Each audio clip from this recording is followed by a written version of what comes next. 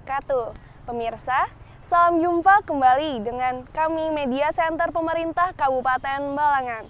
Bersama saya, Rizky Amelia Putri, tentunya dalam program Batarbangan Berita Seputar Balangan. Selama kurang lebih 15 menit ke depan akan kami sajikan berita seputar Kabupaten Balangan.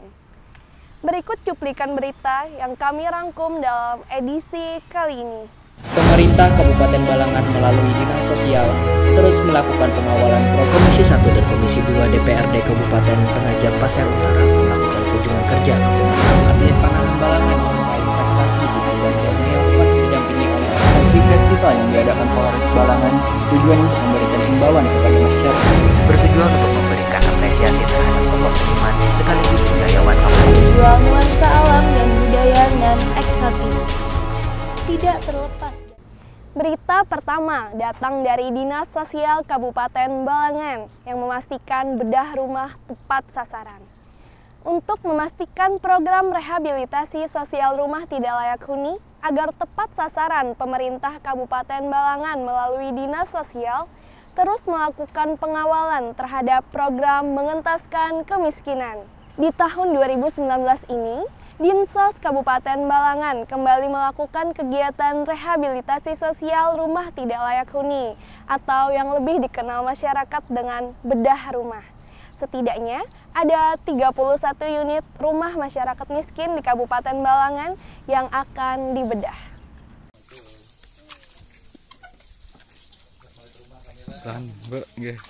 Dinas Sosial Kabupaten Balangan pastikan bedah rumah tepat sasaran untuk memastikan program rehabilitas sosial rumah tidak layak huni atau yang dikenal dengan RSRTLH tepat sasaran. Pemerintah Kabupaten Balangan melalui Dinas Sosial terus melakukan pengawalan program pemerintah dalam mengentaskan kemiskinan tersebut. Tahun 2019 ini kembali melakukan kegiatan rehabilitas sosial rumah tidak layak huni atau yang lebih dikenal masyarakat dengan bedah rumah ada sejumlah 31 unit kepada masyarakat miskin di Kabupaten Balangan. 31 unit RSTL tersebut terdiri dari 21 unit dari dana APBD Kabupaten Balangan, 6 unit dari APBD Provinsi Kalimantan Selatan, dan 6 unit dari APBN. Anggaran yang kita dapat untuk bedah rumah tahun 2019 dari provinsi berjumlah 15 juta. Kalau dari pusat atau kementerian 15 juta, sedangkan dari APBD Kabupaten berjumlah 21 juta.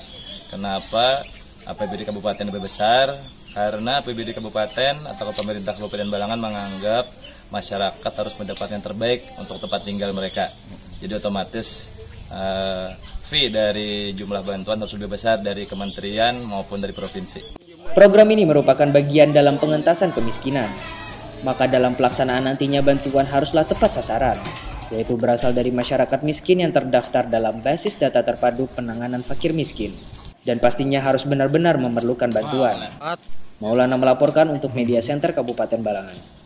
Komisi 1 dan Komisi 2 DPRD Kabupaten Penajam Pasir Utara melakukan kunjungan kerja ke pemerintah Kabupaten Balangan dengan agenda sharing dan diskusi tentang program UBC atau Universal Health Coverage, JKN KIS dan CSR di Aula Bapeda Balangan.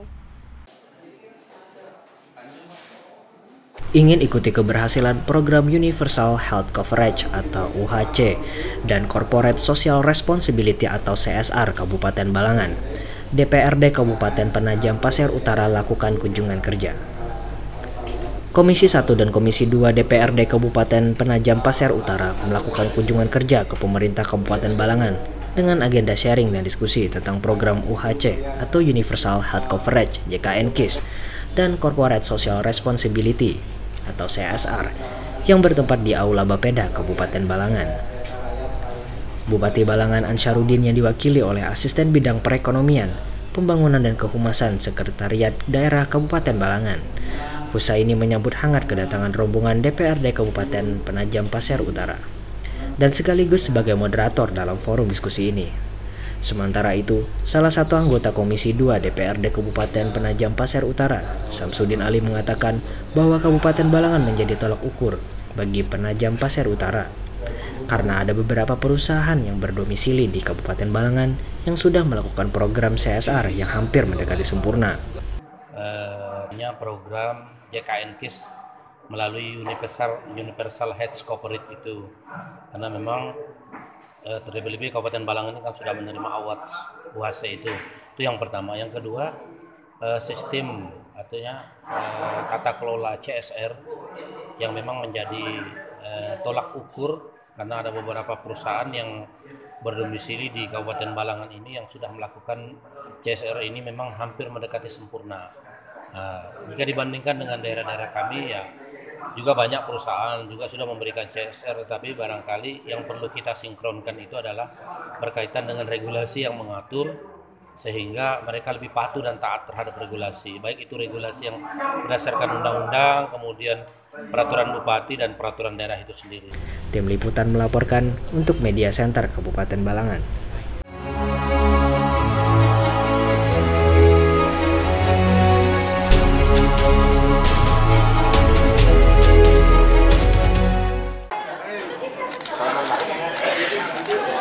Bupati Balangan apresiasi atlet panahan berprestasi.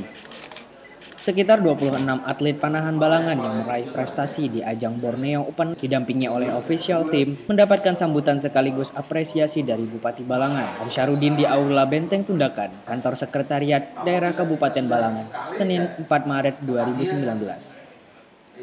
Balangan berhasil meraih total 21 medali yang terdiri dari 18 emas, dua perak, dan satu perunggu dari ajang Borneo Open tersebut. Ketua Balangan Archery Club, Bambang Subiantoro mengatakan, tim dari Balangan tidak bisa mengikuti semua nomor pertandingan karena keterbatasan alat yang dimiliki akibat tingginya harga peralatan tersebut. Ternyata panahan ini uh, juga sangat disukai oleh anak-anak kita dan juga para remaja kita dan kita berupaya untuk ke depannya bagaimana kita untuk mengembangkan uh, cabang olahraga panahan ini sehingga membawa nama harum Kabupaten Balangan. Memang selama ini uh, panahan uh, untuk Kabupaten Balangan cukup uh, bagus ya kita lihat terbukti dengan banyaknya medali yang telah dilaksanakan pada saat uh, perlombaan di Banjarmasin. Dan saya merespon sekali dan termasuk juga tadi saya telah memberikan semacam ada bonusnya untuk pembelian alat itu walaupun nilainya sangat kecil ya.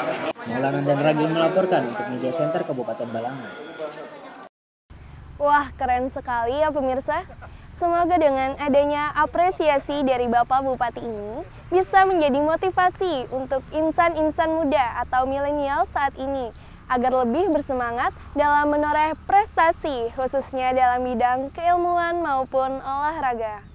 Dan mari kita tunjukkan bahwa kita, Kabupaten Balangan, mampu meraih prestasi baik lokal, nasional maupun internasional. Nah, berita lainnya juga berkaitan dengan generasi millennials, yaitu warga Balangan antusias ikuti Millennials Road Safety Festival. Kegiatan Millennial Road Safety Festival yang diadakan Polres Balangan bertujuan untuk memberikan himbauan kepada masyarakat agar mengutamakan keselamatan berlalu lintas, khususnya generasi milenial saat ini. Milenial Kabupaten Balangan.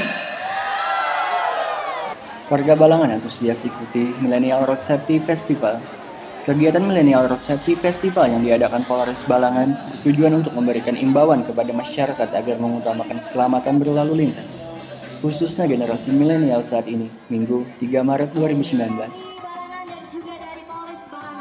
Pada kesempatan ini tentu saja kami mengucapkan banyak terima kasih atas terselenggaranya ini dan juga kami mengucapkan banyak terima kasih kepada semua masyarakat dan anak-anak yang berada di tempat ini luar biasa.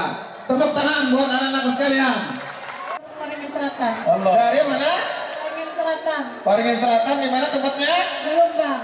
Gelombang. Oh Inang sana ya. Alhamdulillah sudah berkeluarga kah? sudah. Berkeluarga. Ya ini mendapatkan paket umrah. Nah ini, tolong dicatat Catat panitia. Kayak Pak Ding rasanya dapat hadiah. Senang lah. Siapa ngaran Pian? Raihan. SD SD di mana Pian? SD Betul Piring. Dapat hadiah apa tadi Pian? Paket ke Jogja. Rencana anak bawa siapa? Ke Jogja. Bawa Abah.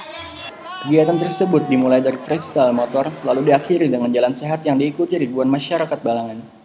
Tujuan kegiatan ini untuk mengedukasi milenial Kabupaten Balangan agar lebih cinta berlalu lintas dan lebih tertib dalam berlalu lintas.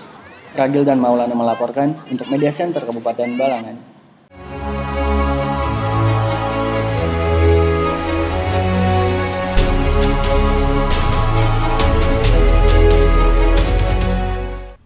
Tak ingin terlupakan komplikasi gelar Tribute to Pahawi. Koalisi Masyarakat Peduli Seni dan Prestasi atau komplikasi menggelar acara apresiasi dan penobatan tokoh budaya putra terbaik daerah Kabupaten Balangan. Tribute to Pahawi bertujuan untuk memberikan apresiasi terhadap tokoh seniman sekaligus budayawan Kabupaten Balangan, yaitu Syarkawi bin Amir atau dikenal juga dengan sebutan Syarkawi Amit. Koalisi Masyarakat Peduli Seni dan Prestasi atau Komplikasi menggelar acara apresiasi dan penobatan tokoh budaya putra terbaik daerah Kabupaten Balangan, Tribute to.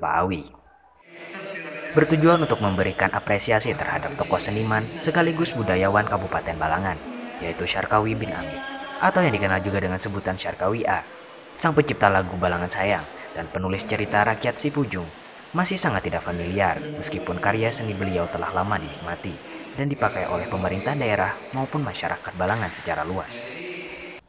Acara yang berlangsung pada tanggal 2 hingga 3 Maret bertempat di Gedung Sanggam Paringin ini diisi dengan berbagai kegiatan seperti pergelaran musik, pembacaan puisi, bercerita, pemutaran film dokumenter, dan pameran lukisan serta diskusi. Tribut Tupawi ini merupakan kegiatan kita dari komplikasi uh, komunitas uh, koalisi masyarakat peduli seni dan prestasi untuk memberikan apresiasi terhadap tokoh seni budaya Balangan yaitu Pak Sengkawi bin Amit atau yang kita kenal dengan Pak Sengkawi. Kegiatan ini merupakan bentuk apresiasi dari kawan-kawan yang ada di Balangan khususnya para komunitas dan pelaku seni budaya yang tergabung di komplikasi. Uh, menggagas satu acara yaitu Tribut Tupawi. Uh, rangkaian kegiatan sendiri kita banyak uh, rangkaian. Pertama ada pameran seni lukis yang merupakan hasil karya Pak Awi. Ada lagi penampilan seni, uh, pembacaan puisi, monolog, serta pemutaran film uh, biografi Pak Awi.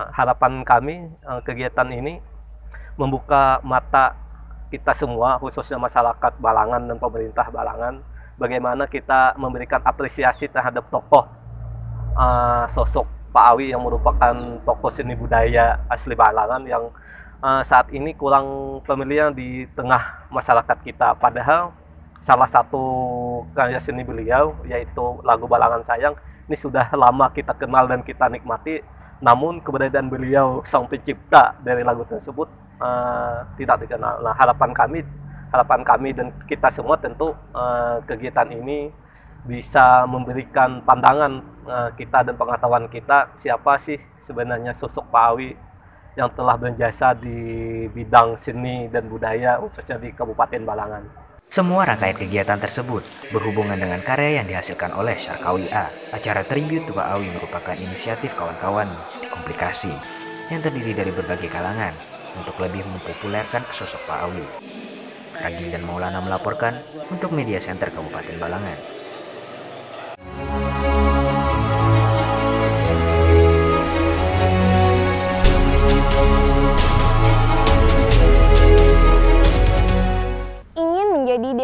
Wisata, Desa Liu, Kecamatan Halong, Kabupaten Balangan terus berbenah banyak perubahan yang terjadi pada desa paling ujung di Kecamatan Halang ini. Ini terlihat dari semangat warga desa Liu ingin memperkenalkan wisata alamnya dan budaya khas Dayak Dayak yang merupakan salah satu subetnis Dayak Meratus di Kabupaten Balangan. Berita ini sekaligus menutup perjumpaan kita kali ini. Sampai bertemu di program Batarbangan selanjutnya. Saya Rizky Amelia Putri, pamit undur diri. Wassalamualaikum warahmatullahi wabarakatuh.